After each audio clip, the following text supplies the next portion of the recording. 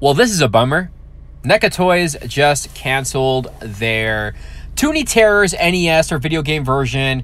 Friday the 13th, Jason Voorhees and A Nightmare on Elm Street's Freddy Krueger. Was really bummed when I found out about this. The, the way I found out about this was, you guys know, you know, I go through Big Bad Toy Store. They sent me an email that these were canceled, and I guess it was officially announced that it's canceled due to licensing issues.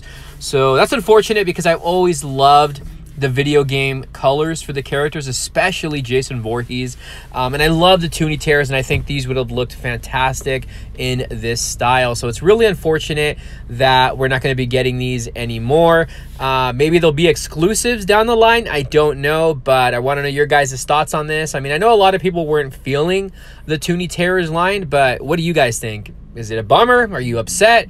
Uh, let me know down below, guys. Thank you for watching. We'll see you soon. Bill's gonna